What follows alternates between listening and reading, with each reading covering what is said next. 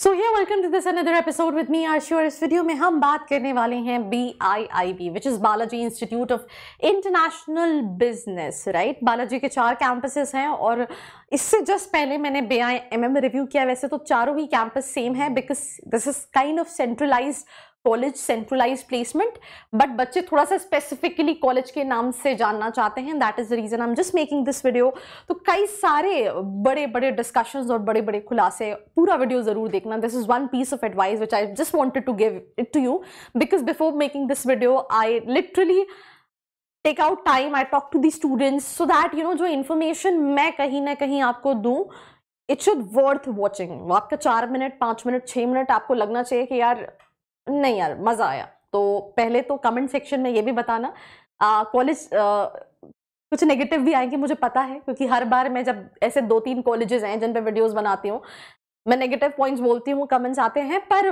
मुझे समझ में आ जाता है कि वो कहाँ से आ रहे हैं, कहाँ से नहीं आ रहे। तो आपको वीडियो कैसा लगेगा, वो प्लीज़ अपना यू नो टिप्पणी देना ज़रूर। Lamin in the comment section और शुरू करते हैं इस एपिसोड को।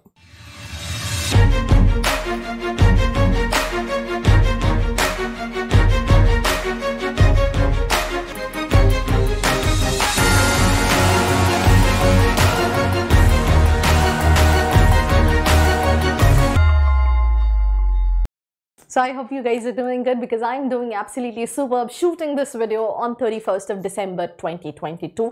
नया साल with नई energy मैं पता है क्या करती हूँ but I usually do on the last day of every single year.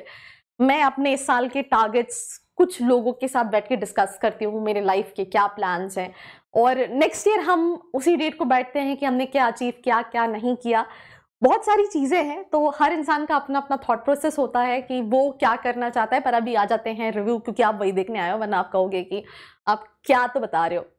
Now this is the campus I mean they have a centralize campus जहाँ पे B I M M B I M H R D then B I T M B I I B सभी बच्चे एक साथ पढ़ते हैं। सारी process जो है वो सेंट्रलाइज है।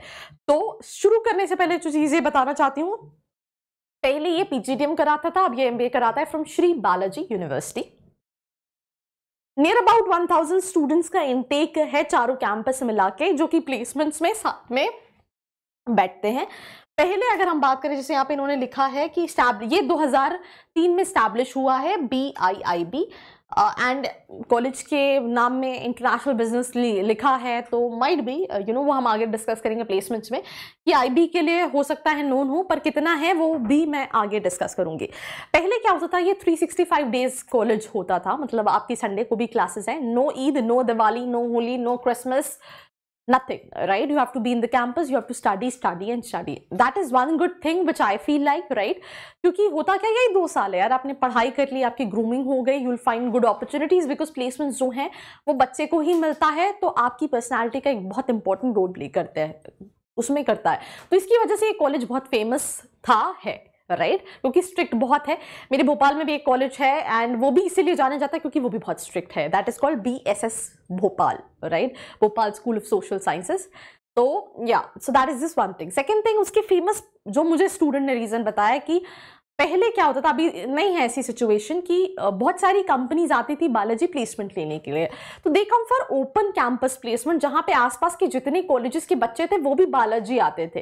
तो उससे भी कहीं ना कहीं उस कॉलेज की थोड़ी सी रेपुटेशन जब बच्चा देख रहा है कि मैं दूसरे कॉलेज में जा रहा हूँ, वहाँ पर कंपनी आ रही है तो इसकी वजह से भी जो हाइप थी कॉलेज की, वो थी। तो एक हाइक तो अभी भी है कि स्ट्रिक्ट है, पर अभी संडेज को ऑफ़ मिलता है और Saturday is a casual day for students that is one change what college bring it out तो ये स्पेशलाइजेशन है finance IB digital and business transformation marketing and management ये स्पेशलाइजेशन अवेलेबल है finance and financial services marketing and international business digital marketing business transformation sales and marketing and seats 60 60 60 and 60 right and this is the eligibility criteria 50 percentile in your graduation cat zat mat any examination fill have you have to fill the application and then you need to go for interview यहाँ पे मेरी team ने mention किया है 65 percentile but ऐसा कुछ भी नहीं है। There is no cut off required in any of the examination interview होता है, ऐसा नहीं है कि हर कुछ भी मतलब तुमने बस दे दिया, तुम्हारा हो गया, ऐसा नहीं है इस कॉलेज का। But still right basic comms average होनी चाहिए। ये स्कोर मैटर नहीं करता। This is I am hundred and ten percent sure of there is no such cut off admission process आपको 1000 का एप्लीकेशन फिल करना है देन उसके बाद आपका इंटरव्यू होगा, and then you get into this college this is MOU with Philip Capital India in this collaboration will give an opportunity to students of Sri Balaji University with BIMM Saris colleges को an experience of corporate life in the very beginning of academic session along with a confirmed job offer placement. ये fee structure है जहाँ पे अगर हम total uh, पता नहीं इन्होंने किया है नहीं किया but total fees fifty thousand first installment two lakh twenty five thousand second installment then two lakh thirty thousand is the third installment, fourth installment is five lakh sixty five thousand, right? So five lakh sixty five thousand ये फिर scholarship है ठीक है? तो आप ये मान के चलो, ग्यारह बारह लाख के आसपास का इन्वेस्टमेंट है।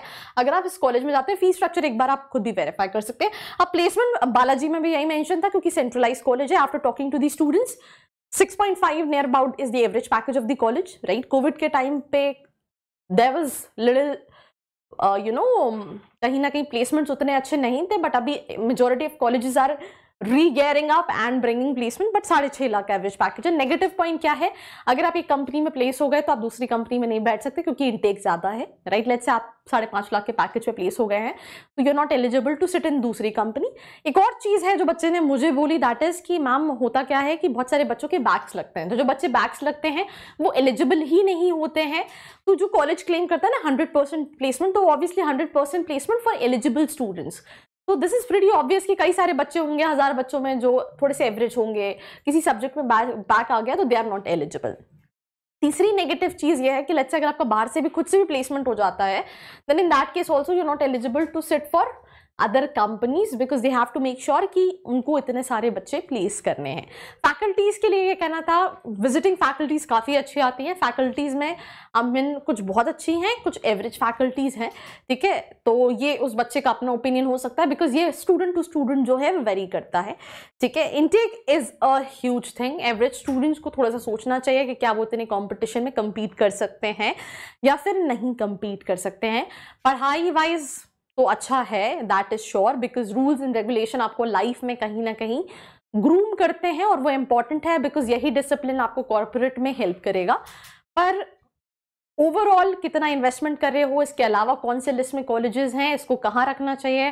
देन कहीं ना कहीं आपको डिसाइड करना चाहिए कि मुझे ये कॉलेज लेना है या नहीं लेना है। So I think that's recruiters and that's pretty much about this college do not forget to like share and subscribe I hope you like this video. For more such videos, keep watching our channel and do not forget to like, share and subscribe.